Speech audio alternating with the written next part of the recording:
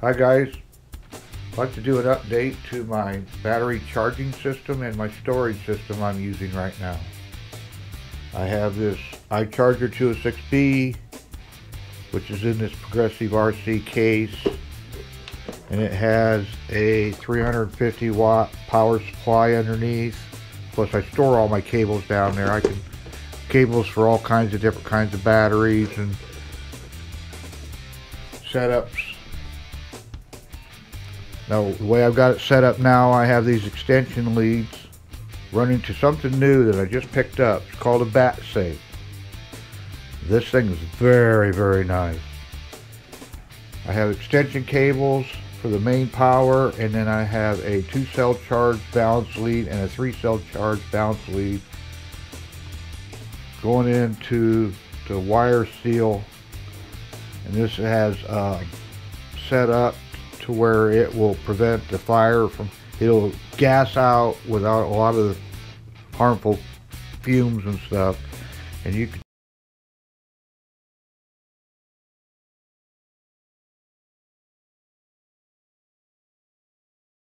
uh, 5200 milliamp battery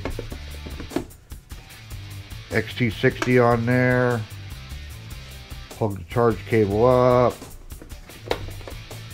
connect it to the right uh, balance plug like that.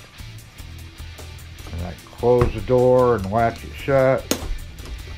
And if there was a fire to go off on this battery it would be sealed inside this box and cause no fire. A little bit of outgassing of smoke but other than that there would be uh, no flames you see it's got a fiber some kind of fiber matting inside there and screening to where the fire it will vent the gases out but none of the flames. It completely seals all the way around.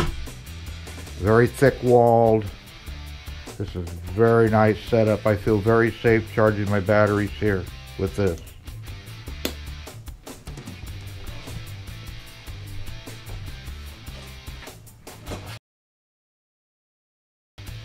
Now this bat safe comes with this little metal bracket.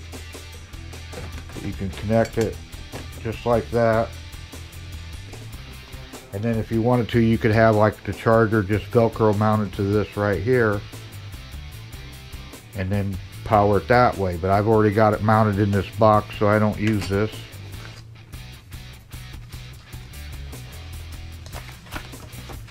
Comes with a little bit of instructions and safety notices. This is the bat safe.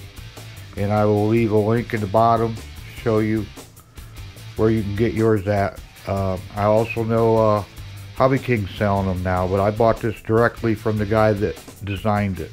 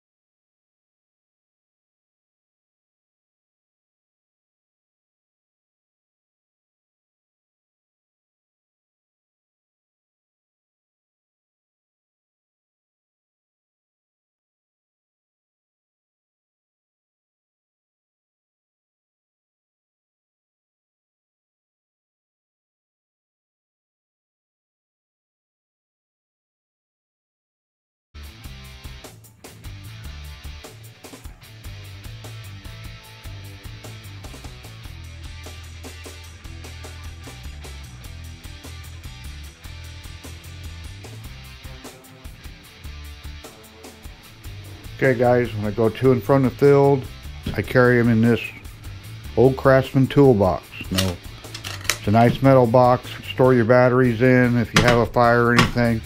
But what I've done to modify this, the entire inside, bottom, top, and all four sides, and then I put two dividers in. This is a cement board. It's 100% fireproof. So if anything was to go off inside this box, that the fire would stay inside the box and not burn up anything else. It's lined top, all four sides and the bottom. And I can hold quite a few batteries in here. Plus I also, I not only keep them in the firebox, but I also keep them in these LiPo bags too.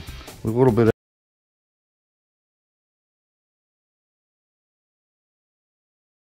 vehicle and not have to worry about fires.